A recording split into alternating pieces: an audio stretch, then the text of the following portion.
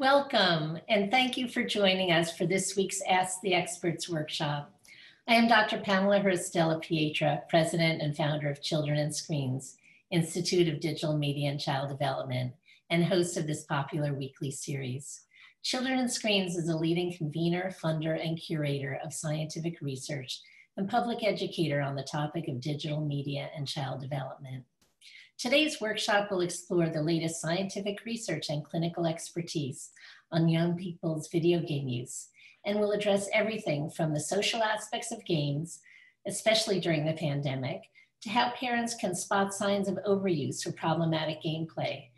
Our panel of esteemed experts will offer evidence-based guidance on how parents can talk to their kids about appropriate game content, manage the hours that they play, and ensure generally healthy gaming habits. Our panelists have reviewed the questions you submitted and will answer as many as possible during and after their presentations. If you have additional questions during the workshop, please type them into the Q&A box at the bottom of your screen and indicate whether or not you would like to ask your question live on camera or if you would prefer that the moderator read your question. Please know that we may not be able to answer all of your questions, but we'll ask, answer as many as time permits. We are recording today's workshop and hope to upload a YouTube uh, video in the coming days. Tomorrow you'll receive a link to our YouTube channel where you'll find videos from our past webinars as well. It is now my great pleasure to introduce our moderator, Dr. Marc Potenza. Marc is a professor of psychiatry, child study, and neurobiology at Yale University School of Medicine, where he is the director of the Center of Excellence in Gambling Research and the Women and Addictive Disorders Core. Marc also directs Yale's program for research on impulsivity and impulse control disorders and is a world-renowned expert on addiction psychiatry and impulsivity. Welcome, Marc. Thank you. Thank you for organizing this uh, wonderful uh, webinar and for all the great work that Children and Screens has been doing over the um, many years uh, with meetings going back uh, over the past five years, uh, focusing on topics that are um, timely, relevant, and impactful for how uh, children are developing in a, an ever-changing digital age. Um, the meeting that you convened earlier this year on uh, neurodevelopment and screen time, bringing together international experts uh, on the topic to consider um, how neurodevelopment um, and cognition may be impacted by screen time uh, was a very important meeting and there should be a forthcoming article in JAMA Pediatrics related to that. Uh, without further ado, I would like to move into uh, today's webinar and introduce uh, Cam Adair, who is an international speaker and entrepreneur who focuses on video game addiction. He is best known uh, for being the founder of Game Quitters, a support community for gamers from 95 countries. In April 2020, uh, CAM founded Intenta with a mission to equip mental health professionals with resources on digital disorders uh, by closing the clinical skill gap. We're delighted to have him here to uh, speak about um, uh, gaming, uh, his uh, experiences, and how we can help people. Thank you so much, Marc, and I'm delighted to be here. It's a true honor. And I guess I always like to, to start these presentations off with kind of sharing my personal story, which is ultimately how I got into all the work that I do now. And so I'm a former video game addict. I played video games a lot growing up, a fairly hardcore gamer, but my gaming wasn't always a problem. So I started gaming when I was about 11 years old and at first, you know, it was just a fun way to kind of relax or uh, de-stress after going to school or playing hockey. I'm from Canada, and so that's kind of the routine that you had. I'm very much the first generation of boys who grew up with high-speed internet and online gaming. And when I began to experience a lot of bullying when I was 13 years old, my gaming went from just being a side hobby I had to being more of an escape. And that's really where a lot more of my problems with gaming began to occur. I ended up actually starting to game almost all day, every day. I stopped wanting to go to school. I stopped wanting to play hockey. And so I was gaming up to 16 hours a day, basically my full day other than sleeping. I dropped out of high school. I never went to college. And I even started to pretend to have jobs and deceive my family. My gaming became my priority. Anything that stood in the way of me being able to game needed to be removed. And so, you know, that was pretending to have jobs, that was deceiving my family, that was, you know, throwing temper tantrums to scare my parents into giving into boundaries they were trying to set.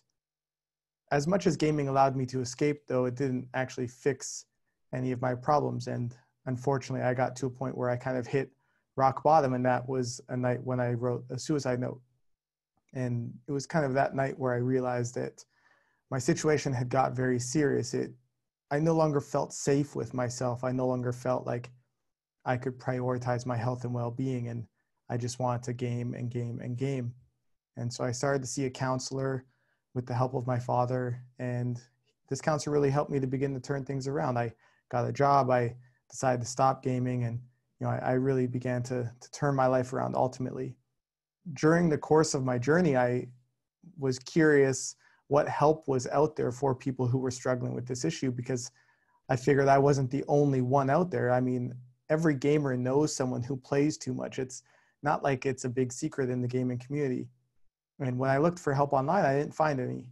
And that left me really frustrated. So I decided to share my story. And when I did, I started to hear from tens of thousands of people all over the world who were gamers themselves, really looking to improve their lives. And that's what led to GameQuitters.com. And that's kind of what has now led to very much working on the front lines of this issue over the last 10 years.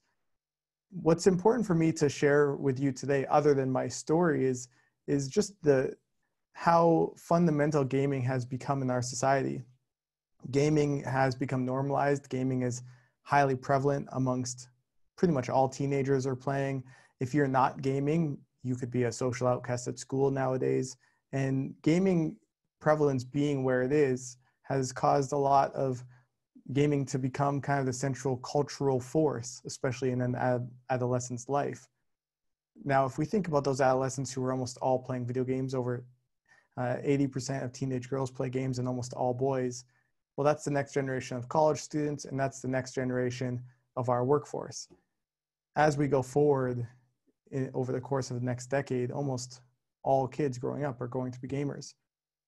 Gaming has become a, a huge source of, of the culture, and we're also seeing a lot of integration between kind of popular culture, including entertainment products and gaming.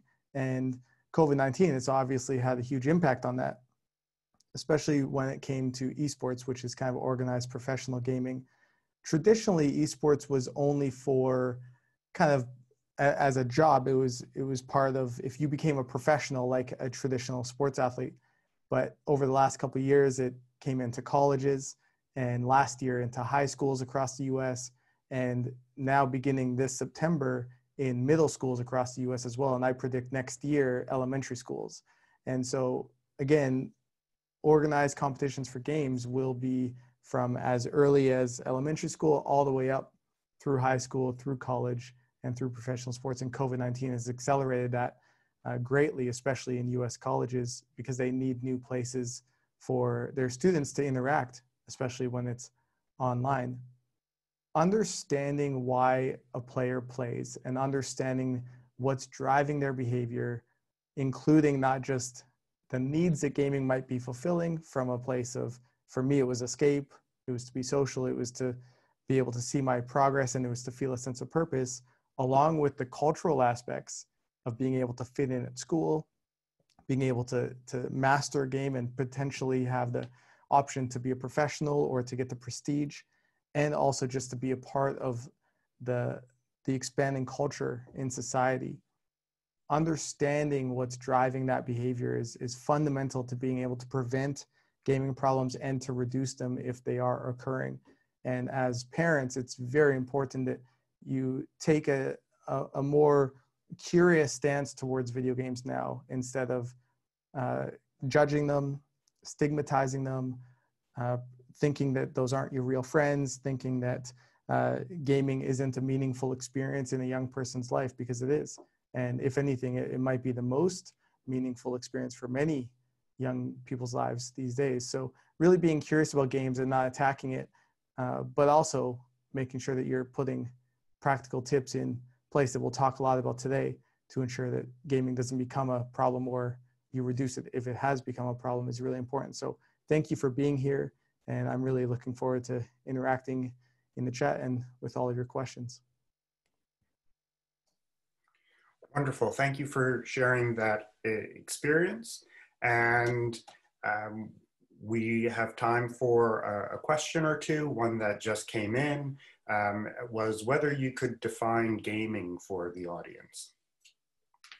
Yeah, so video games, how do you define gaming? So video games are kind of fun experiences that people have. There are many different types of games now because there's different genres, there's, there's different types. So there's story-based games, there's uh, competition-based games, and there's ones where you're playing by yourself and there's ones where you're playing with a lot of different people. And so games themselves have also, as the industry has grown, the industry has grown to a point where they're trying to appeal to as many people as possible and thus they offer entertainment products to as many people and as many people's interests as possible. Uh, and there's different types of games vr virtual reality augmented reality and of course pc and, and consoles and, and now mobile gaming as well is a big part of the industry. That sounds um, like it's a, an ever growing um, area. Um, uh, we have time, I think, for another question before we move to the uh, next uh, presenter. Um, and we were going to um, invite uh, perhaps a, a, live participant in the audience to ask that question.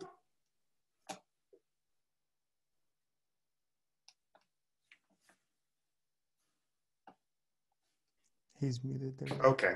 Um, he is muted, so I'm just going to uh, read the uh, question. Um, should my uh, child quit gaming completely? Hi, Robert. Thank you for the question. A few years ago, if you asked me this question, I would have been a lot more uh, certain about the answer. But now, because gaming is is so prevalent, I think it's first most important to understand the severity of the situation and uh, people like Ed and Doug can speak to this uh, more fully to help you grasp, you know, what are these different factors you want to pay attention to. But if someone's gaming and it's not a, a big problem in their life, then it is possible to game in moderation. If it is a big problem, then you may need to reduce it for a period of time. It's very important to understand different risk factors and also different uh, vulnerabilities. And so, in my personal experience, the amount of effort that it takes me to game in moderation is significantly more effort than than is worth the prize of being able to play. So I prefer to put my interests into things like music production and DJing and surfing and traveling and working on a business. For other people though, they are able to play in moderation and even if their gaming becomes a problem, if you reduce the problematic areas, maybe that's different game types, Maybe that's building different habits like exercise and time in nature and face to face interactions. Then they could game to some moderation. So I think it's very important to understand a case by case basis, uh, but also to understand yourself, which is, in my opinion, what this journey is all about. So I hope that answers at least part of that question and gives you some direction. But uh, I've seen everything in, in our community from people who quit for a period of time and were able to reintroduce it to people who were able to learn to moderate to people who quit and just have never looked back. And all of them are living uh, healthy and productive lives in their own way. So it depends on what you're looking for. Thank you for your insight uh, from the large community in which you're involved. Um, for the sake of time we'll move on to the uh, next speaker. And Dr. Douglas Gentile is an award-winning research scientist, educator, author, and is a professor of psychology at Iowa State University. He focuses on the positive and negative effects of video games on children in several countries, how screen time contributes to youth obesity and to gaming disorder. So thank you for being here, and we look forward to your presentation. Well, thank you. Uh, I'm particularly grateful uh, to uh, have an opportunity to get fully dressed. So uh, it's uh, it's been a while, and and I guess I'd just like to recognize that you know, there these are kind of weird times we're in, uh, where even those of us who worry about children's screen time, uh, what do we do now when every child has to be on a screen all day long? And what what what is this going to mean for the future? And we really don't know the answer to that. But I can start with some of the things we do know. That there are a lot of different effects that games can have. And some of these are intentional effects like educational games. And the research on educational games demonstrates that uh, they're fantastic. If your kid plays Reader Rabbit, reading skills improve. If your kid plays Math Blaster, math skills improve. Uh, so it, uh, it, they can be very effective. Unfortunately, they certainly don't get the amount of money put into them that a modern AAA game gets. Um, there are games designed to help children manage chronic healthcare problems such as diabetes or asthma. And it turns out that if you play a video game that talks about how to recognize those symptoms, uh, kids are much more compliant with their healthcare behaviors than if you gave them a pamphlet with exactly the same information. Violent games have a wide range of effects. We'll just talk about two of them. One is that they can improve uh, visual attention skills so that uh, uh, you get better at picking up information off of screens, off a wider, uh, useful field of view, noticing tinier and tinier differences. These are the types of skills that an air traffic controller needs to have, for example.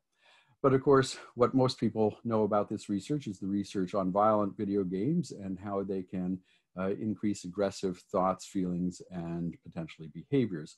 I'll come back to this as an example of kind of all of these effects in a little bit. Uh, but again, it's not that games are bad or games are good. Uh, the content matters greatly. And so in a number of studies, we've also shown that when kids play pro-social games where you help for or help care about other characters, help them out with things, that in fact kids gain in empathy and increase their helpful and cooperative behaviors. Um, but then there are other problems too, that, in, uh, that playing uh, some types of games can increase uh, racial and gendered stereotypes and prejudice and even discrimination. There's a lot of research on school performance uh, showing that in general, greater screen time leads to worse school performance. And there is starting to be a literature demonstrating that uh, with greater screen time come greater uh, attention problems. And of course, what we've already heard a fair amount about uh, is gaming disorder, uh, where which I would define as gaming in such a way uh, that it is damaging to multiple areas of your life, uh, not just one area of your life, because anything you love, you will sacrifice other areas of your life for. if you love golfing, you'll sometimes skip out of work early to go golfing. Does that hurt your work? Yes, it does. Uh, but what we're talking about when we get to the uh, level of a disorder or an addiction is that it's damaging multiple areas of your life at once, damaging your family functioning, your social functioning, your occupational functioning, your school functioning, your social functioning, your emotional functioning, your psychological functioning. That's when it starts to become a disorder. And I started studying this back in 1999 because I thought there was no way it could be true. It turns out I was wrong. uh, and how do I, as a researcher, know that my work is having an impact? Well, when uh, Jimmy Fallon talks about it, he said, a new study shows that about one out of every 10 kids who plays video games is addicted. You know what they really need is rehab. That rehab's such an awesome game. It's on Xbox and PlayStation. I played it for six hours yesterday. My answer, six hours, sissy. That's that's nowhere near what, what these kids are actually playing if they're having this problem. So there are hundreds upon hundreds of high quality studies now uh, on a wide range of effects. Some of these are intended, uh, but most of them are unintended. And these are just some of the empirically identified uh, effects. I haven't gone into all of the possible ones that are here. But I'd like to talk about one particular study to try to help you understand when, I, when we talk about what's happening with a game interacting with a human, what do we mean? So this is a longitudinal latent growth curve. It's from a study of 3,000 children that we followed across three years. And the I here means the intercept, means where do they start at the beginning of the study? Uh, and the S is the slope. How do they change across the three years of the study? And what we found is that children who start off the study uh, playing more uh, violent video games, so that's the video game, you know, violent game exposure, they also start off the study with higher aggressive cognitions. Now we measured three types of aggressive uh, thinking in this study. The first, the technical name is hostile attribution bias. What this is, is we all know people who when something annoying happens can let it roll off their back, give the person the benefit of the doubt.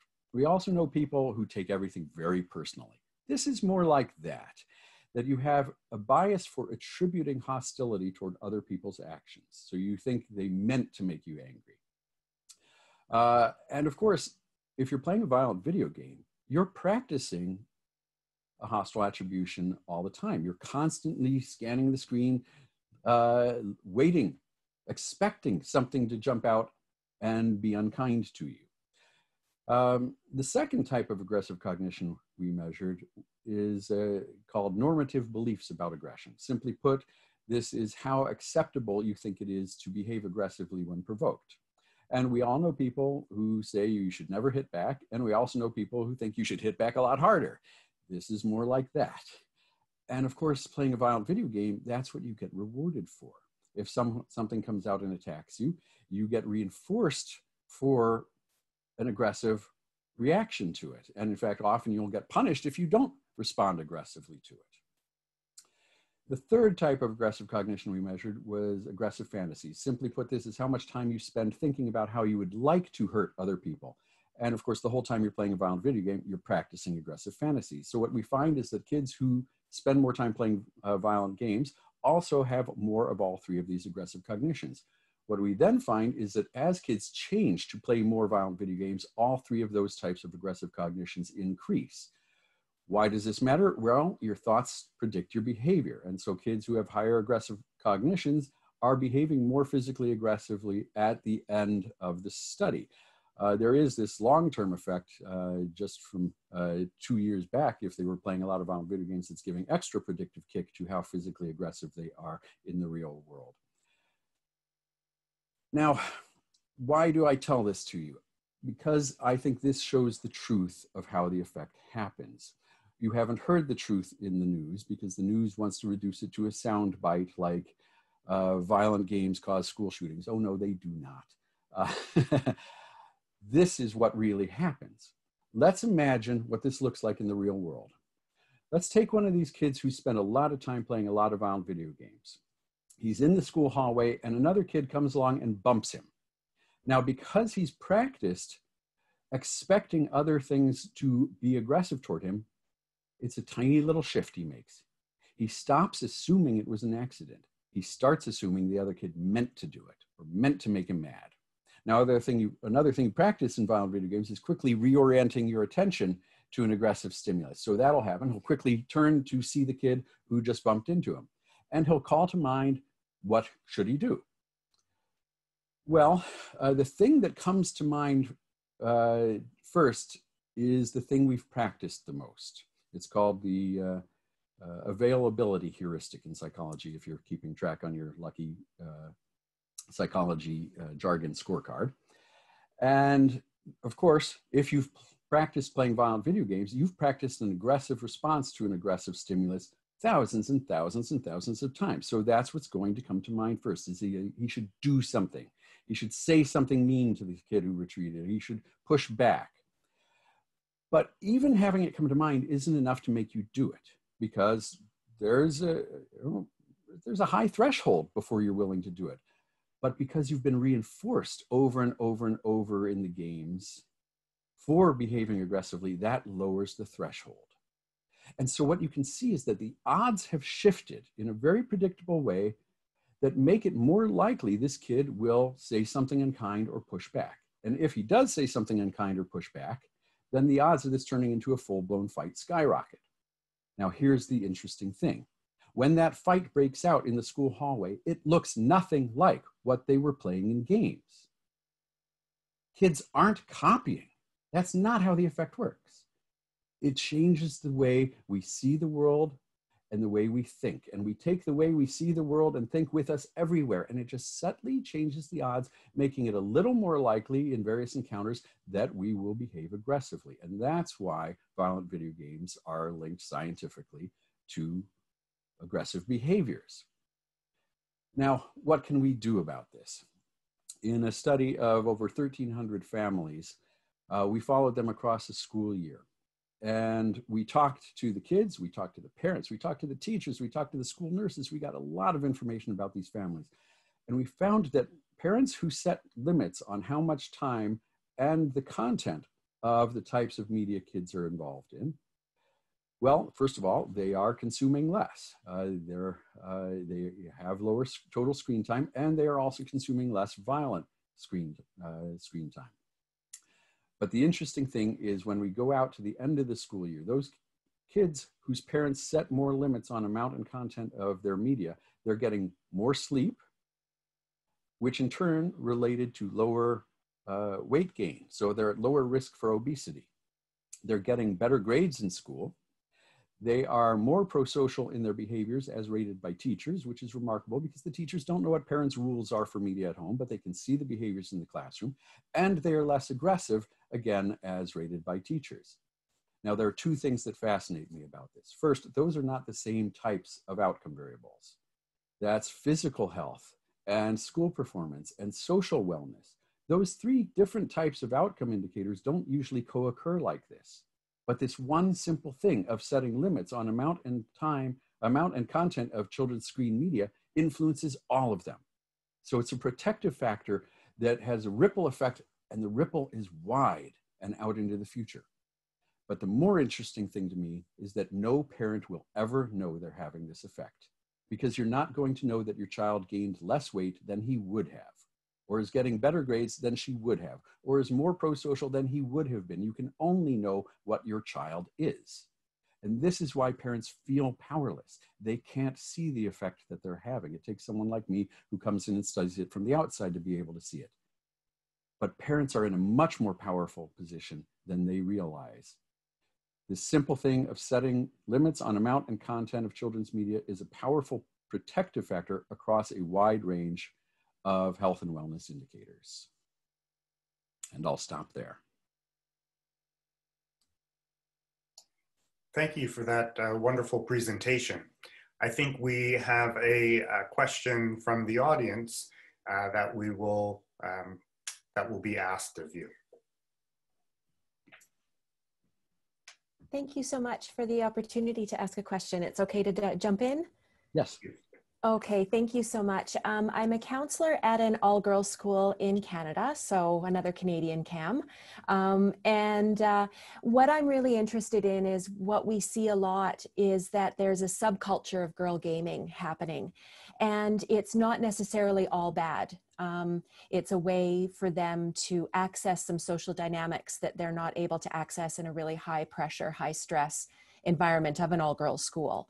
And I'm also really interested in the work that Jane McGonigal does around the positive benefits of gaming. And I wonder if you can chat just a bit about girls in gaming or some of the positive effects. Sure.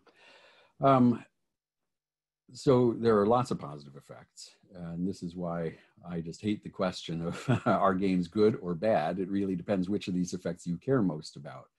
Um, and we didn't even go into all, all the positive ones but but the, the easiest positive one is that they're entertaining.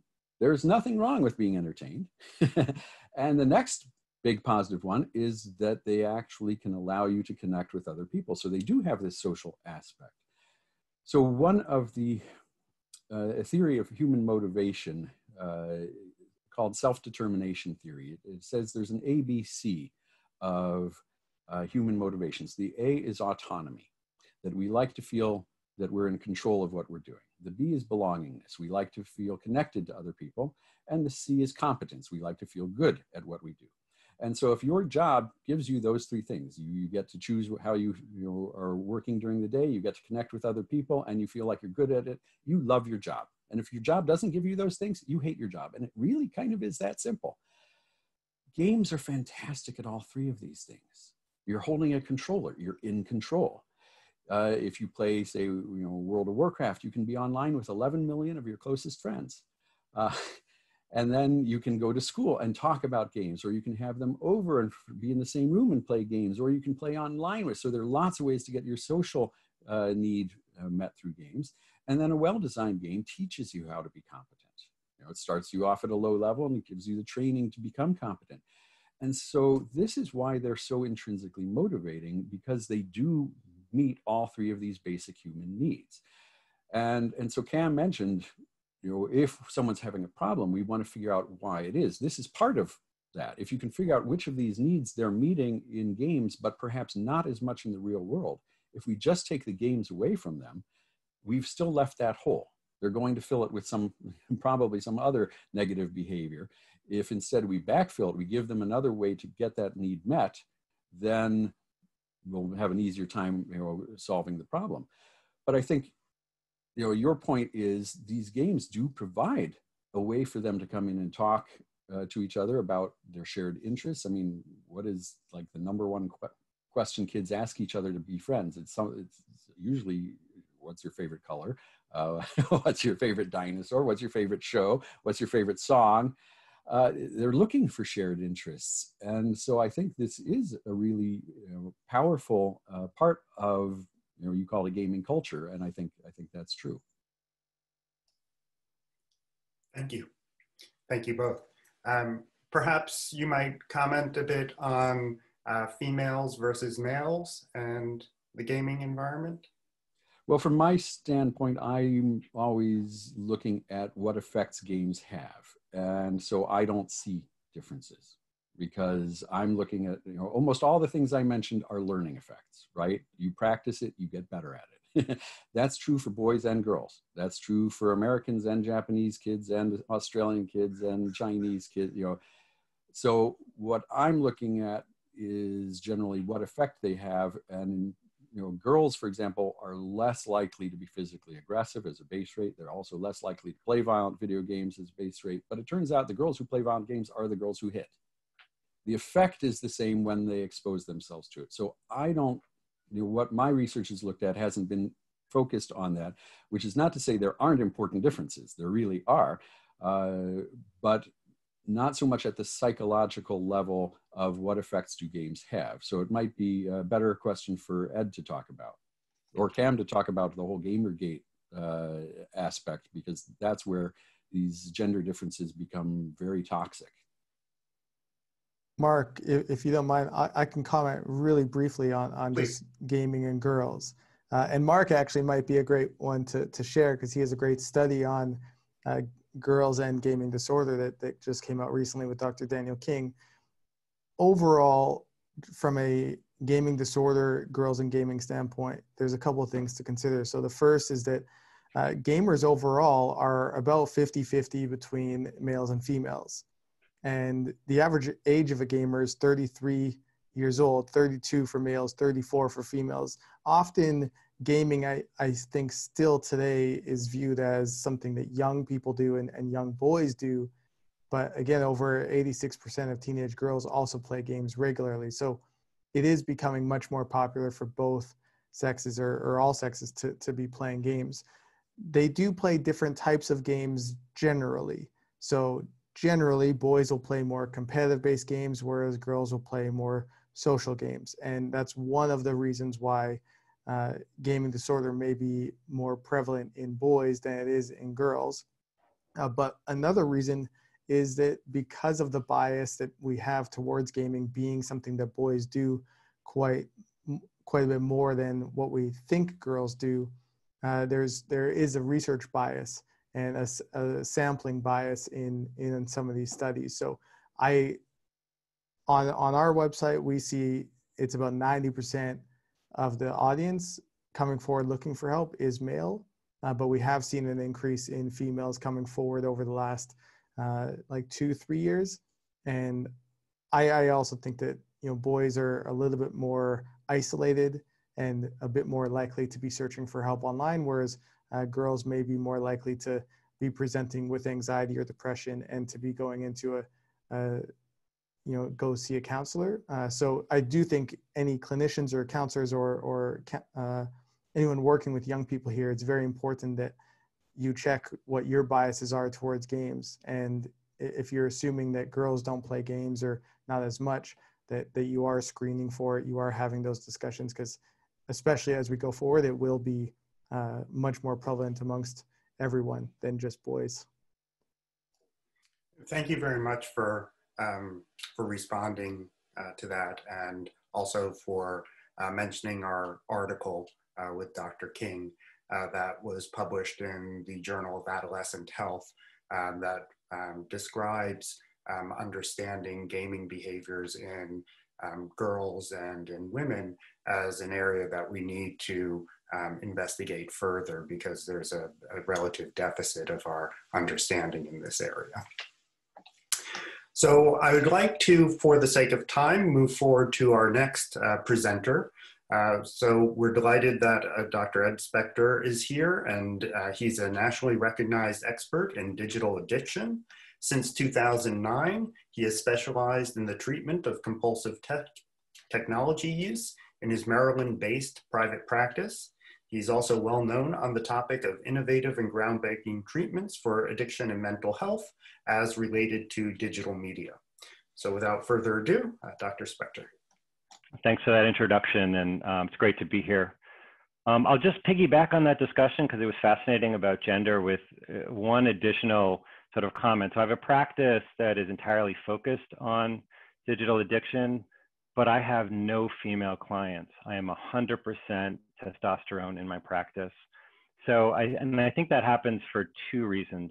One, there are more female therapists than there are male therapists, and often people want to go to a therapist who's their same gender. And second of all, there's this army of young, savvy female therapists who are really comfortable with talking about technology. Um, but there's so few male therapists that I just, on a practical level, I end up referring out when I get female clients uh, referred to me, but I very rarely do.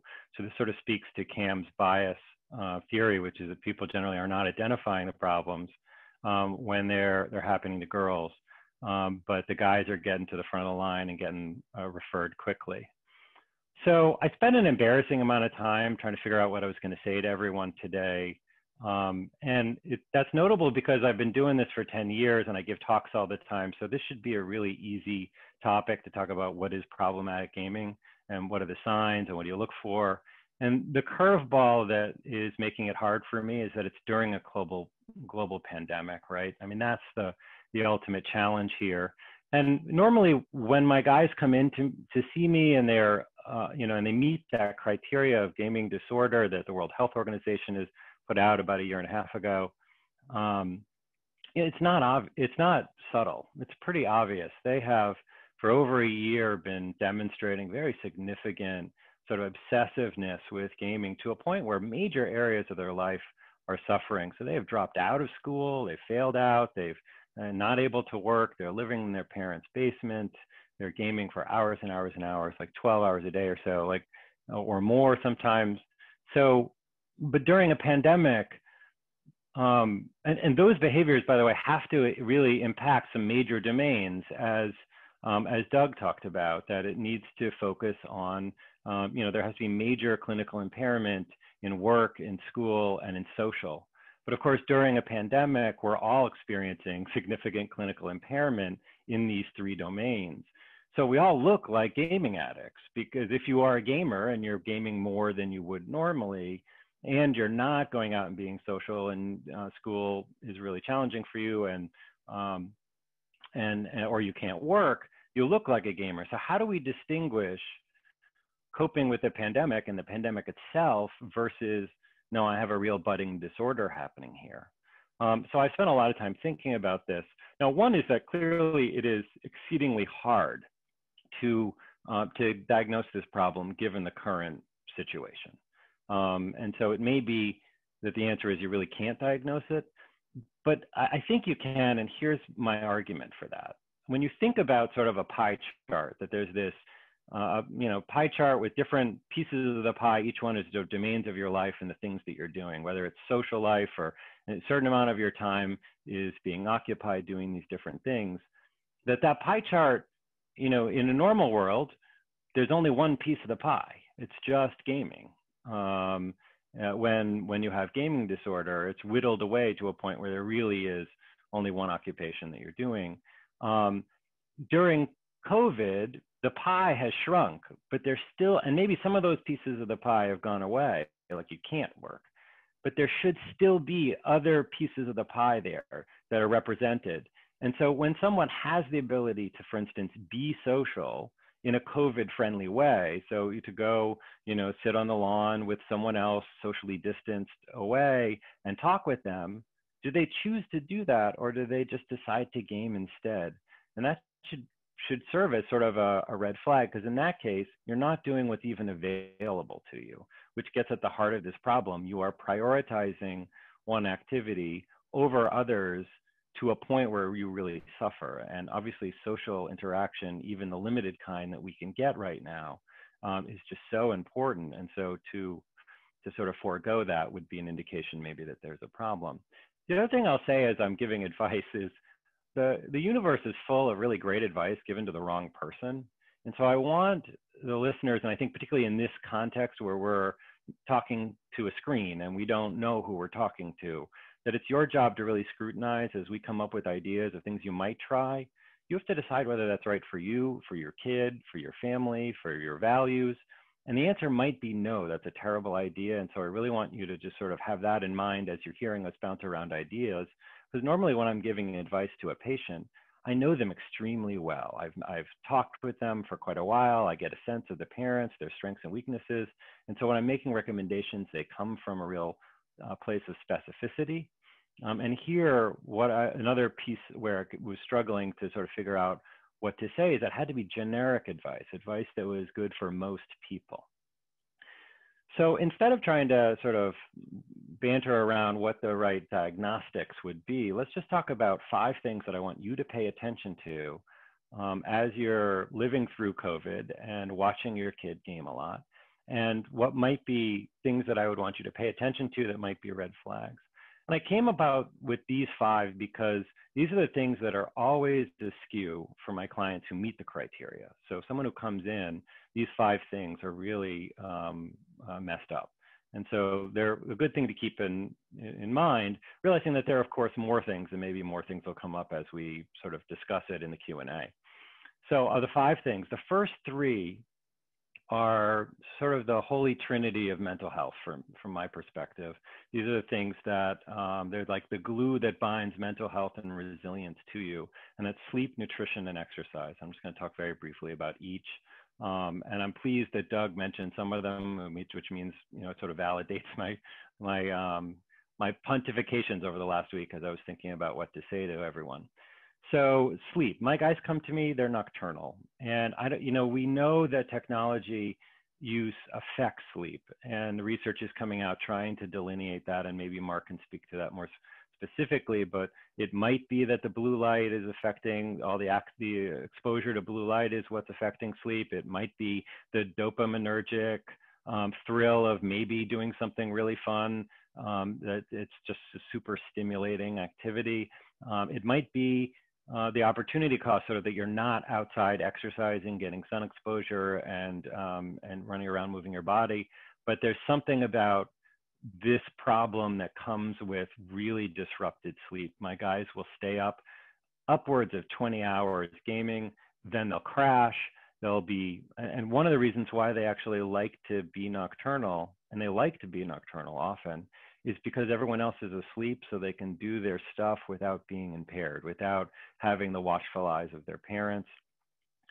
So one thing I would really want you to look at is sleep and make sure that you toe the line on good sleep hygiene. I know this is hard. I know that there are exceptions and it might be that the choice is to not be so policey about it. But um, in general, if you sleep, if your sleep is healthy, if you're diurnal, which is you know daytime hours, you are awake during the day, um, you are better off and healthier. And if you are nocturnal and you're dysregulated in terms of your sleep, your immune system suffers, many different things suffer, including your mental health. So one is sleep. Um, nutrition. This is a tricky one. A lot of my guys come to me and their idea of a nutritious day of food is junk food and monster drinks.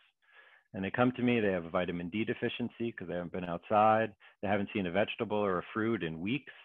Um, and if your brain does not have the building blocks it needs to create neurotransmitters, it can't produce them adequately. And so we would anticipate and expect someone to not function well, to be depressed, to be whatever. Um, and when my guys come to see me, they they don't look right. They're physically you know, exhausted. They're morbidly obese. They're or or very very thin. They're not sleeping well, um, and their their nutrition is is awful. I you know I I recently saw a recommendation that you have over 20 at least 20 different vegetables and fruits per week. That the diversity within your diet is what really really benefits your sort of butt biome, uh, your your gut your gut biome, um, and um, now, obviously, that's pretty unrealistic if you got like a nine-year-old kid. But if you want some smoothie recipes, I I got myself to 15. I tried it um, using just a couple different smoothies, and if with enough chocolate syrup, man, uh, it it all it's all good. Um, you can really sneak it in there, and it's not huge quantities of everything. It's just diversity. Um, so sleep, nutrition, now exercise my guys are not exercising. Sometimes they have like bed sores because they've just been sitting too long in the same position. Um, they're not exercising at all. When I have someone who's in recovery who's decided they're going to stop gaming or reduce significantly their gaming, one of the things that I'll have them do is exercise twice a day for 45 minutes, go for a walk, once in the morning, once in the evening. If the weather is terrible, then you can skip it, skip one of those two workouts, but you have to work out. It's really important the way I describe it to my clients is it's sort of like rebooting the computer, um, which of course is a metaphor they understand. Um, most computer problems and most phone problems you have, if you turn it off and turn it back on, it kind of magically goes away. That solves like 90% of your problems. Exercise is rebooting your body. It really chemically kind of puts things in the right place. And the nice thing about these three things is they sort of bind together. If you exercise, chances are you're going to eat healthier food and you're probably going to sleep better. They seem to kind of cleave together. So that's something that's really important to pay attention to. So sleep, exercise, and nutrition. The last two sort of are bound together and similar. One is just looking at your diversity of activities.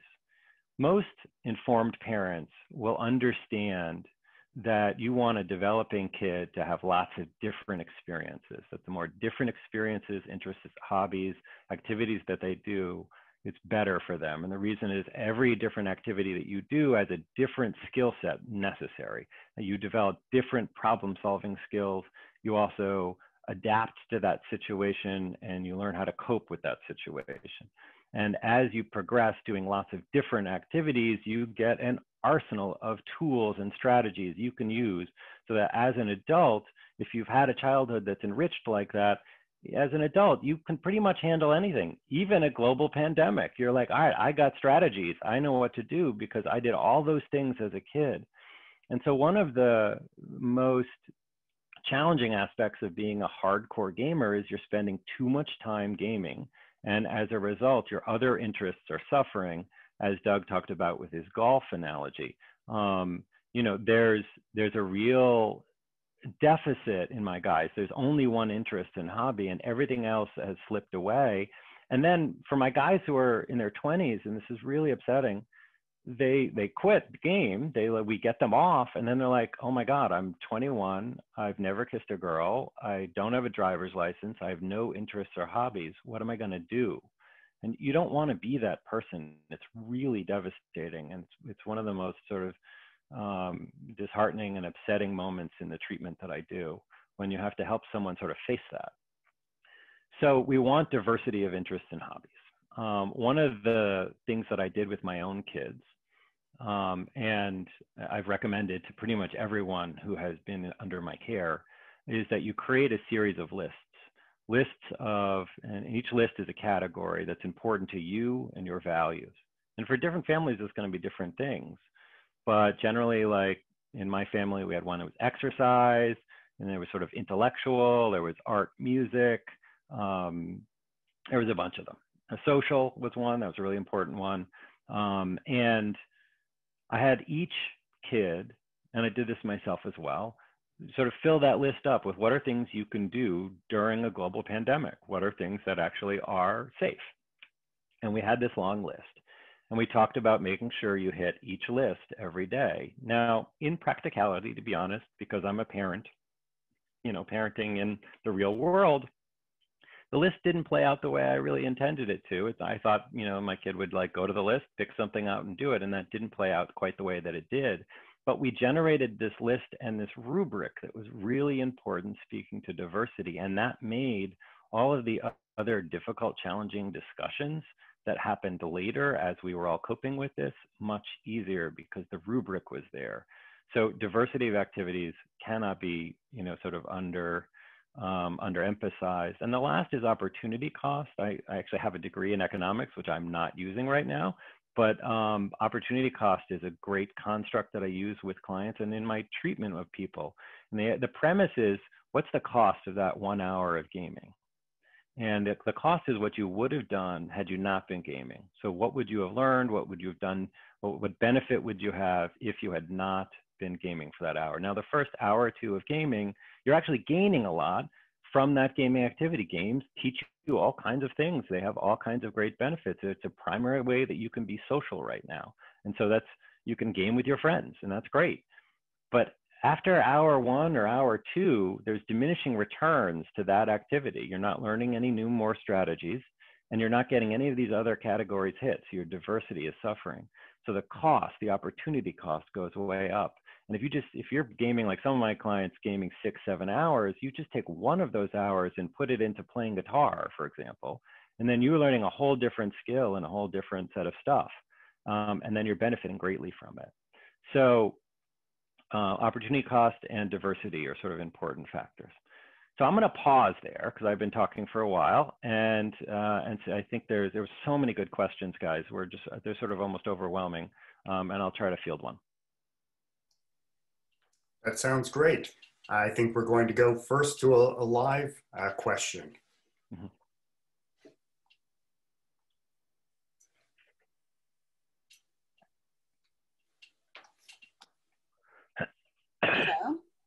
Oh, now I can hear you.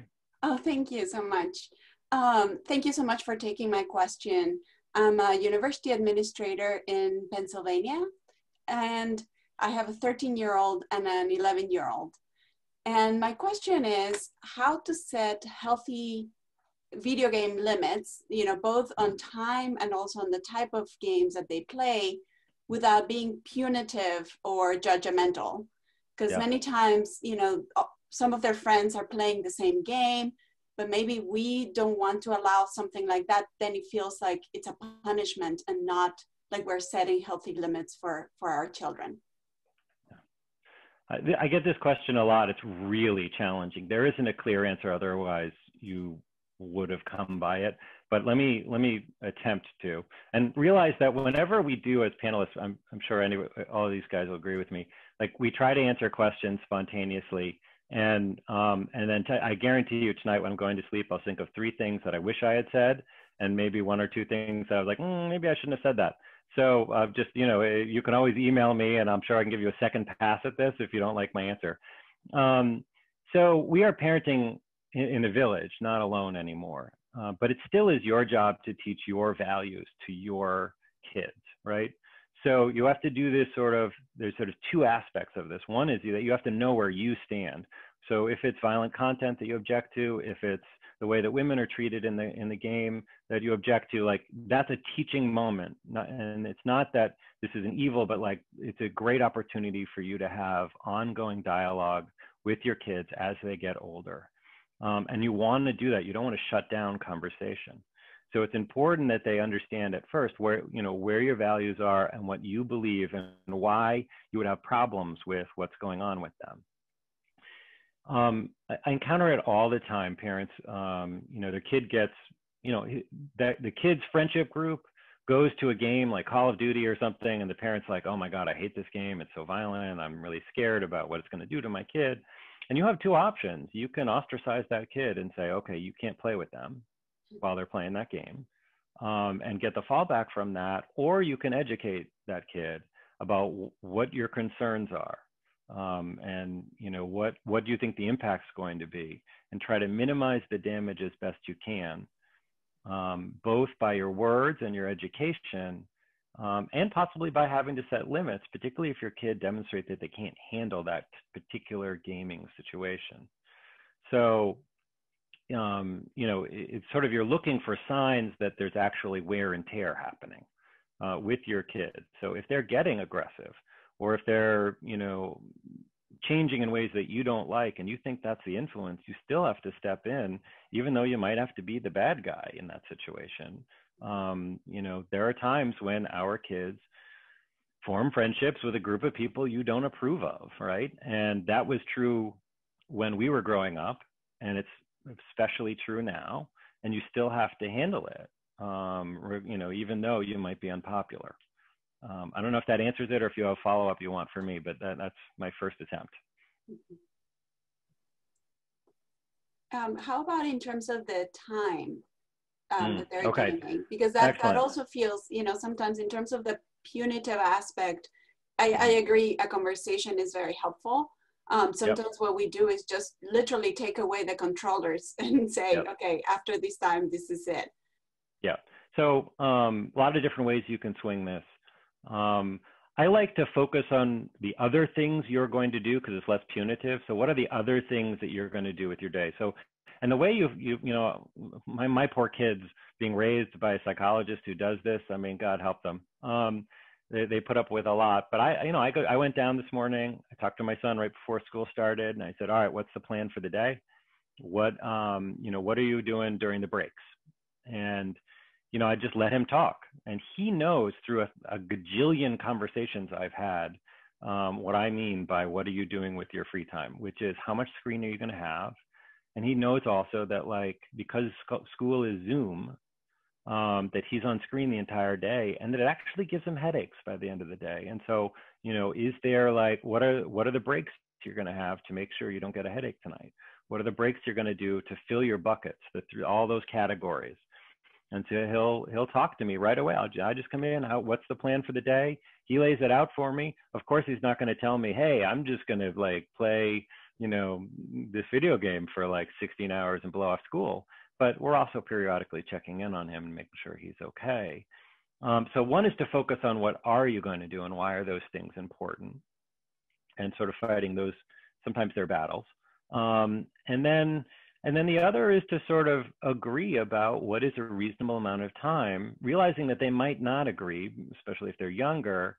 Uh, by the way, my son is 13. I think you said you had a 13 year old. Um, and you know, if they don't understand, then you have to say just really clearly where you are, what you think the right amount is, and then enforce it. And just you have to make sure that you do enforce it with with uh, reasonableness. Now, some places where it gets sticky is that some kids don't have very good executive functioning skills, so they end up in these very social situations where they're in the middle of a match with, and there might be 12 people playing, right, including them. Six on the other team, five on their team. It might be with friends that are like in their community. Um, and then you come down because they haven't paid attention to the time and it's six o'clock and it's dinner and it's time to get off. But if you yank them, it's sort of like going up to a basketball game that's actively happening, walking into the middle of the court, grabbing your kid by the ear and pulling them out and say, I don't care, this game's over. Like you've just done something and they've they've ended up in a really ugly situation. So while it's you know in terms of hours I, you know i'm you have to sort of look at what the total picture is. You also have to recognize that they may need some support there in terms of navigating the entrance and the exit from technology. And they might you know even with an alarm might not be that great at that. And to not focus on the shaming part of it of why can't you do this but just sort of like what are the things that are missing right now in terms of the prerequisite skills that would be necessary for my kid to be able to handle this situation? And then how do we either provide scaffolding teach them that skill or make sure that they're in an environment where you can get the best version of them? Thank you for that um, answer. Uh, as we transition into the uh, full question and answer period perhaps we can see if the uh, other panelists have something to add uh, at this point?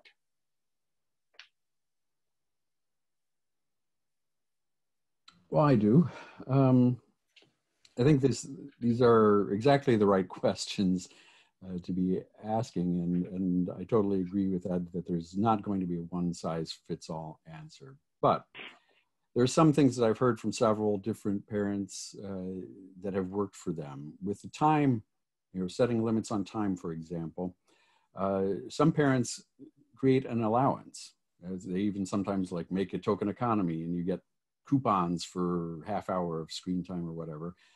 And they give them a certain amount, you know, per week. And this is an interesting approach because why do we give kids a, a, monetary allowance? We don't give them a monetary allowance because we think children deserve money, right?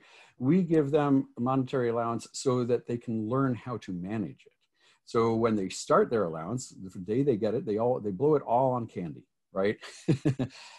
and then later that month, they're sad they have no money and after a while, they learn to save some for later in the month. And then after a while, they learn how to save it, you know, across many months so they can buy something big. Uh, and then the point is, by the time they're 18 and they, they leave your house, they can actually manage their money.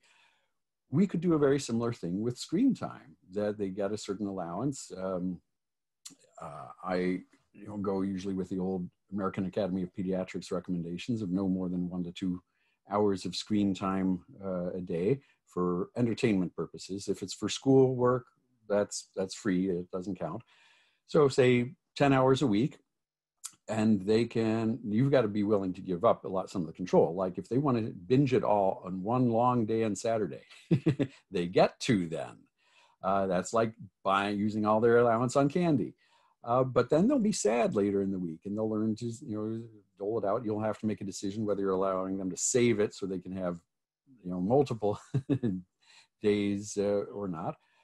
But again, the idea is this is training them to not just fall back on turning something on to see if it's something's on or to, because they don't know what else to do. They have to make an active choice. I'm going to spend my time this way. Uh, so that then by the time they, they leave your house at 18, they've learned how to manage their screen time. Uh, the, you know, the point about discussing these things with your kids is uh, tremendously important. So in the parental monitoring literature, there are four types of ways parents can be involved. First is co-viewing. So you sit and you watch with your kid or you play with your kid. The second we've talked a bit about is setting limits on amount. The third is setting limits on content. And the fourth is what's known in the literature as active mediation. This is where you discuss uh, why you choose to watch what you choose, why you choose not to watch these things, what the effects could be, from whose point of view is it being seen, uh, whose point of view isn't being shown. Uh, you know, this this more critical level of thinking about it. You know, and the research shows that three of these four are fantastic for kids. Setting limits on amount and content, you've already seen some of the data on how fantastic those can be. Active mediation is even better. Uh, the research shows that when parents are in a habit of actively discussing these things with their kids, it seems to mitigate almost all of the negative effects of media and it enhances the positive effects of media. The dangerous one is co viewing. If you sit and you watch with your kid or you play with your kid and don't talk about it, it enhances the negative effects because then you're giving tacit approval to whatever carnage is being seen on the screen. So the important thing is this act of mediation. Now, this is a lot easier to start if your kids are young than if you're already working with teenagers, but teenagers actually can understand it uh, perhaps better and really engage in these conversations. And you know, I'll just talk about my personal, as you can imagine, I was very strict with my kids. uh, and I made the choice when my daughter was two that I was just going to raise a freak who was not allowed to watch anything her kids were being allowed to watch. And it turns out that did not make her a freak. Uh, she still, you know, uh, Lord of the Rings movies came out. I was not about to let her see those. I love those films, but not good for kids. They're terrifying. Uh, and yet we were walking through Kmart one day and she's, you know, looking at the t-shirts. That one's Frodo and that one's Sam and that one, how the hell does she know this? Because I'd never let her seen it. But the point is, any of these things that are that big in the culture, they're still going to be able to have the conversations with their friends about, even if you don't allow them to ever see them. So I, you know, this is again, decision everyone has to make for themselves, but I haven't seen real problems coming from being too strict. And this whole idea of the forbidden fruit aspect, the research does not seem to bear it up. It doesn't seem to work that way. Uh, that kids, once they leave your house, go off and go crazy. Uh, it's not that there aren't anecdotes of some people doing it, but that does not seem to be typical. The more typical thing is if you were really strict, they grow up and move out and are able to manage themselves better.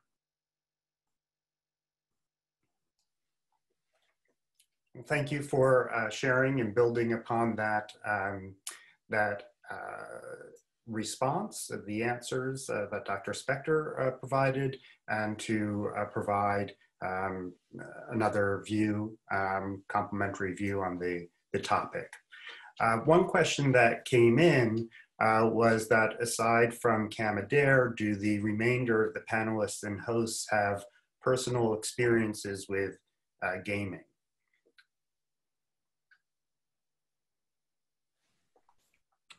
Uh, maybe, maybe Doug, do you want me to go first? All right. Go right ahead. So um, I I play a lot of games. Um, I don't play the way my clients do. Um, I you know I have a, sort of a weird world I'm in. Um, my technology is all in my office, so um, I game at times to experience the things that my um, clients are dealing with. I also have older clients. The average age of my clients are 19 with a bell curve around that. So the young kids um, where maybe um, the, the sort of the violent stuff is, is sort of less of an issue. It's not that it's not an issue, but it's sort of a less pressing one. And it's more the quantity and how it's overcoming their other sort of functions. Um, but so I, I do play games and I, I do play games with my kids, mostly my son who's 13. Um, but uh, you know, I, I, think every parent has to decide about content and, you know, you use these things to teach your values so my kids know where I am and where I'm not about various aspects of media. Um, and that's really the rub is sort of staying in the game with your kid enough, not just to be silent, but to have the dialogue. It's the dialogue that's so important. Um, if you're a real stranger to what they're doing and they're doing it for hours and hours, it can be really problematic. Anyway, so I play lots of games. Um, I love Minecraft. I don't know what else to say. um, but uh, you know, I do it in moderation. Like on the weekend when I'm home, I'm with my family. I'm you know mowing the lawn. I'm doing all these things. Uh, the idea that somehow they'd be in the house and I'd be in the house, but we wouldn't be doing something together is ab- abhorrent to me. Um, so it's all at my office mostly. Um, so, anyways may may I ask a question then? Mm-hmm. Of you know, during this COVID nineteen time where there's such uh, time spent online learning, school, um, how do you get your uh, children to, or how does one get a child to uh, go to that balance of um, limiting the video gaming or um, uh, in this current setting? Mm-hmm. So it's the current setting, but also the age of the child really matters, right? So the younger the kid, the more likely it is I'm just going to do parent consultation. So I'm just going to be instructing the parents what to do. It's that mediation category. Um, how are they going to directly interact and manage the household differently so that they get a better outcome? As the kids get older in their upper middle school and high school, then there's sort of something to work with in terms of really being able to engage with them about developing strategies for setting limits and recognizing the importance of it. Usually you can, if, if you build enough rapport with them, they'll recognize that there are problems in their life and they'll talk about them. And then you have something to work with and about how their tech use might be impacting, um, you know, the overall course of their life and where it's going and what do they want to do. Um, I teach them about opportunity cost. I teach them about um, all of these kind of things that we're talking about. I'll share research with them if I think it's appropriate. Um, I'll talk about neurotransmitters and dopamine and and how uh, gaming impacts dopamine. And um, and you know these studies that show that people who meet the criteria for gaming addiction, their brains look the same as heroin addicts. It really does morphologically and functionally change your brain. Um, and that often speaks because to them because I'm I don't have a dog in the fight. They know that I game. They know that I don't see this as just evil or good, but like there's you know everything in moderation. And then we try to sort of slowly move the course. So by the time they come to see me, they're having problems though, so it's easier. They're usually you know like especially if they've failed out of school, it's kind of hard for them to argue like yeah my life's going well, things are great. Um, and so they're they're usually ready to moderate themselves at that point. But you have to evaluate the age of the kid and whether it's really expected that they can control themselves. And realize that even teenagers, their frontal lobes are not fully developed. They're going to struggle with that. So you have to provide enough scaffolding so that they can learn to control and um, and enough judgment-free environment so that if they mess up, it's not like embarrassing to them or like shameful that they're struggling with this for good reason because it's really hard.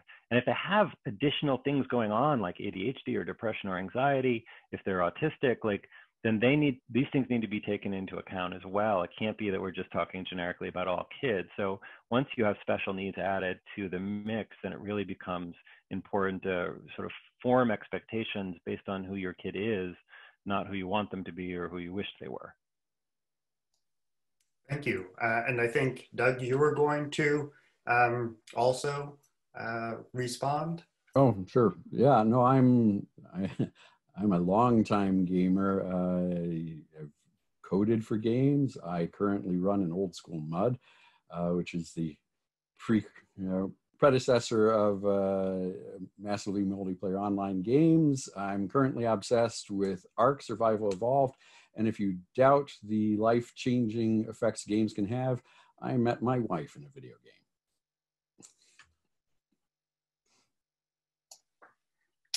Okay, thank you.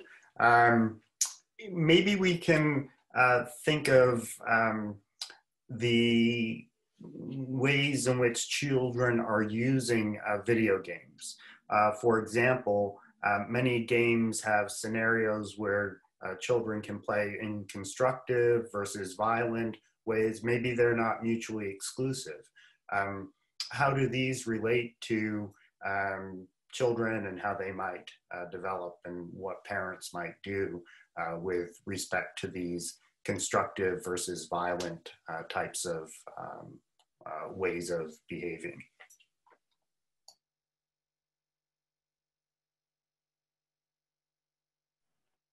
I feel like that one's getting punted to me without anyone saying anything. Um, Doug, do you have something first, or you want me to dive in? Uh, what I'd say is pretty simplistic, which is that your grandmother was a great neuroscientist. She told you practice makes perfect. She was right. Actually, what we know now from modern neuroscience is practice makes permanent in the brain. Uh, if you want to do something perfectly, you have to practice it perfectly. Uh, but whatever they're practicing in games is one more learning trial. And so it's not a simple answer that uh, just playing a violent game somehow is going to make them aggressive because depending on how they're playing it, that matters too. If they're going in with a pro social motivation to help their team, that might be the thing they're practicing, even though what you're seeing on the screen looks like aggression. And so it, it's a it's fairly complicated, but it you know here's where it matters that you're paying attention to how are they spending their time. Yeah, Doug, I thought you handled that well. I, there are games where you you choose what role you have, um, and you might be a support role where you're just healing people, or you might have a game where you're being you know a damage dealer and you're doing um, as much damage as possible. Uh, and I think there's an, enough there's more to be said also of just picking what kind of community and game there's out there because there are there are communities that are really toxic and known to be toxic um, where it's not just the games you're playing but it's like eh, the game itself that's playing but it's the interaction with the other players. Um, and so and some games like league of legend are just known to be profoundly toxic and i'll hear people say yeah i just don't like playing that game because the people are just so awful in it and they treat you so poorly and that you know like it's pretty common for someone to say oh you should go kill yourself or you're trash. Um, where there are other communities like animal crossing where you're not going to get that kind of you know reaction from people. They're going to be like oh cool island or whatever. Um, and so steering kids to games that are consistent with uh, what you want them to be practicing to, to take from doug um, is helpful and but realize that there are sort of underbellies in almost every game. So if your kid really wants to, they can do something kind of negative. Um, so it really speaks to you really knowing what they're doing and, and watching them and understanding what they get out of it. And you know, often it's just asking like, so what do you think's really cool about this game? And and you know, what do you do? What do your friends do? What's the craziest thing that's happened? What's the funniest thing? And just get them talking, and then sometimes they'll really give you the answers you need to evaluate, like, oh, is this a good thing or not? The other thing you can look at, and one of the great questions I saw was, how do you manage your child's emotions when they're gaming, when they get overwhelmed, particularly when they lose? Um, is you want to pay attention to their emotions. Their emotions are a great guide to whether or not they're in the right place.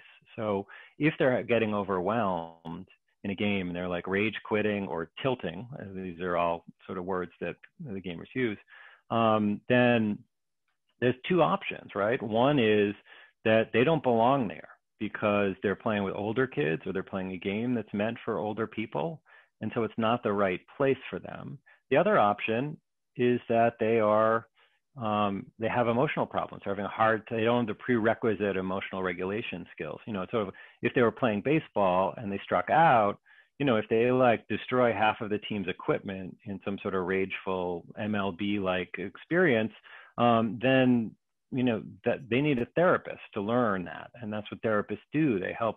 They can they can help with that. Help you know you develop um, the kind of self-talk and the cognitions necessary to manage disappointment whether that happens in a game or happens in real life. So you're getting some feedback if it is that the kid's really showing signs that there's problems. Cam, I'm curious about some of your thoughts on this and having grown uh, playing video games and um, then at some point realizing that it was problematic and whether there was something that you're hearing that might have resonated with you or may have been done differently so the only game I played today is chess, and absolutely love chess. And chess has never really been a problem for me.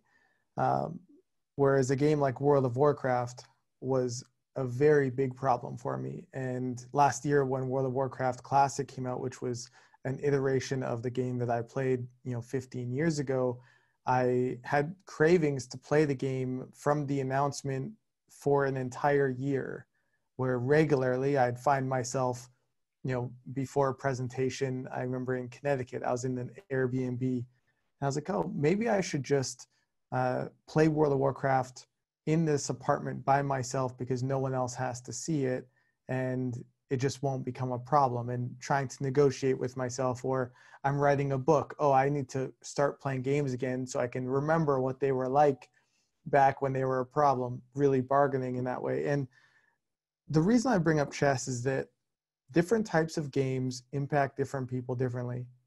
And so games like World of Warcraft that are endless, that go on forever, there's an unlimited number of missions to work on, they're large open worlds to explore, they're ongoing even when you're not playing, so other people are progressing and you're not. Or competitive based games like Counter Strike, which I also played a lot, those games tend to in, in the research show that people tend to develop problems with them more often than single player story based games. Now, there's different types of games and different players like different types of games. I am not someone who really played story based games, but if I wanted to play games now, those are the types of games that I would go to because they're less risky for me. And chess is immersive, but it's not uh, super social, and, and and some of these different factors that really gravitate I gravitate towards. So, especially when you're introducing games to younger kids, I think introducing them to more story-based games, single-player, offline type games is a better option than having a nine-year-old playing Fortnite, where it's so immersive, it's so engaging, and that game it, it has has elements in it for every type of player, whether they're a competitive based player, a social player, or an explorer. Fortnite is designed to capture their attention and to encourage them to spend money. And so you want to be very aware of different types of games people play. And finally, I'll mention that the type of game and the way in which someone plays it can give you a lot of information as to what their interests are. for instance, I'm a very competitive person, so I play those types of games. So other activities like music production, coding, uh, anything that that has competition in sports, is very appealing to me and is a is a good replacement for gaming. Whereas people who are playing more role playing games where they get to create characters, they get to create different experiences, they like to create different experiences. So things like drama or theater or improv are really good outlets for them. And often, because kids start gaming so young these days two, three, four, five years old they may have never even had the chance to develop other interests or other activities. And certainly, they may have never had the chance to try an activity like theater or improv that turns out they may really love. And one member of our community, a 17 year old named Andrew, he stopped playing games one weekend after playing basically all weekend behind his parents' back. And instead, he picked up his family's camera and discovered that his great passion, his great talent in the world was actually as a photographer. And what's so fascinating to me about Andrew is the family camera was there the whole time. He just never had the chance to pick it up because he was so immersed in games. But after picking it up, a natural talent was there, and he's traveled all over the world now with National Geographic. He's been to many different countries, and just overall, his life is in a really amazing place. The final thing I want to end on is that just because he picked up photography doesn't mean that he didn't have a passion for gaming or that other kids don't have a passion for gaming. And I think we really need to be cautious of seeing the hours he spends spends in photography versus the hours he spent in gaming. For him, photography has not impacted in multiple different areas of his life in a negative way, whereas gaming was. And for another kid, gaming might not be impacting their life in the way that it was Andrew. So we need to be cautious there, but I do think that that's a valuable story. Thank you for sharing that. Maybe we can get some final thoughts from the, the panelists uh, before I turn the Zoom stage back over to our, our overall host, uh, uh, Dr. Hurst Della Pietra. Um, I'll jump in first, uh, if that's okay. Um, Cam, you highlighted something for me that I do with my clients. It's called bringing it IRL. So we evaluate like their gaming and why it's really getting under their skin. And for every person, there's some game out there that can get under your skin. Um, and and we try to figure out what need is getting uh, is sort of met in the game, and how do we bring that IRL in real life? And if we can do that, the whole situation pivots for them because when you know you can build self-esteem in a game but it doesn't really transport well. But if you build it irl if your self-esteem isn't something that is brick and mortar that's real um, it really does make you more confident to try other things in real life as well. And so we try to find the the outlets that are in real life and when we can do that it really makes a huge difference. Um, in terms of I just wanted to add one other point, which I didn't make, which I was trying to make, um, which was for um, managing kids' with, uh, emotional responses to gaming. They often have to learn how to tolerate that. And I'll do this thing where I'll create a ladder of gaming situations from easy to difficult. And, um, and we'll go through them and practice them. We are teaching social skills and we're teaching self regulation in those moments. And it might be like losing a game is at the top of your ladder, but for someone else it might be different. And we are slowly sort of working on those things together, practicing them, including setting limits or accepting limits. Um, and these kinds of things have to be practiced. It's not that you're born, your kid's not born knowing how to do this or being good at it. But if you do it right, they can learn it. Um, and often it's by, by rehearsal. Um, so I'll stop there. Thanks. And I'll end by trying to put this back into the bigger picture. Um, you know, we've spent most of this time talking about some of the problems, and that makes a lot of sense because that's what people are worried about. But if we're talking about gaming disorder, uh, depending on the study and country and population, the percentage seems to vary somewhere between 1% and 10% of gamers have, have the problem. Um, that means 90% can game in a way that's not disruptive to their lives. Uh, so, so it's not like this is monolithic problem uh, that everyone has to worry about. Everyone should be on alert for so that you can see some of the warning signs that Dr. Spector pointed out. Uh, with uh, there was a question uh, about how large is the effect size. Uh, this the answer to that is best known for violent games and aggressive behavior. The effect size in correlation terms is somewhere about 0.15 to 0.2 uh, from the meta-analyses. Now, what does that mean? Well, that's about the same size as uh, coming from a broken home. Um, that uh, coming from a broken home, we all know is a risk factor for aggressive behavior, but it doesn't force anyone to be aggressive. And that's what we're talking about here is that each of these types of effects that games can have, it's just shifting the odds in one direction or another. It's not actually forcing a kid to do anything because it's not that, none of them are that big of a risk factor, thank God. Uh, but that's not unimportant. Uh, so just because it's a small risk doesn't make it an unimportant one, primarily because it's one of the few risk factors that we can actually control. You can't control very easily if kids are being bullied at school, have been abused in the past, uh, live in a violent neighborhood, live in poverty. I mean, these are all risk factors for aggression. And you can't just tell families, get out of poverty. Uh, if they could, they would.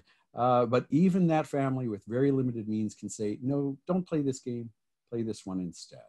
And I think that's what makes games and other media really worth looking at in this way, because in fact, they're one of the few risk factors that we do have a lot more control over than many of the other ones in children's lives. So we are nearing the uh, end of the hour and a half, and I would like to thank all of the panelists and turn this um, back over uh, to Dr. Hurst Della Pietra. Thank you all for coming and for participating in this critically important conversation. And thank you, Marc, Ed, Doug, and Cam for your expertise and guidance. We hope that this webinar has given you a glimpse into the current scientific research and clinical expertise on video game use, as well as, as, well as practical advice for promoting healthy game habits in your kids. To continue learning about this topic and for more great tips, be sure to visit our website where we will post additional insights in the coming days. We will also be posting a YouTube video of today's workshop, which we encourage you to share with your fellow parents, teachers, clinicians, researchers, and friends. For more ch uh, from Children Screens, please follow us on social media at the accounts shown on your screen. Our discussions about digital media use and children's well-being will continue through the rest of the year with weekly Wednesday workshops. Next Wednesday, September 30th at noon EDT, we will be discussing key issues in online privacy and tips for how to protect children's data. Panelists will explain what third parties really know about your family and will equip you with actionable information to protect your child's online presence. The following week, our webinar will explore the rise of, persuasive technology and what parents can do to mitigate its effects. When you leave the workshop, you will see a link to a short survey Please click on the link and let us know what you thought of today's webinar. Thanks again, and everyone be safe and well.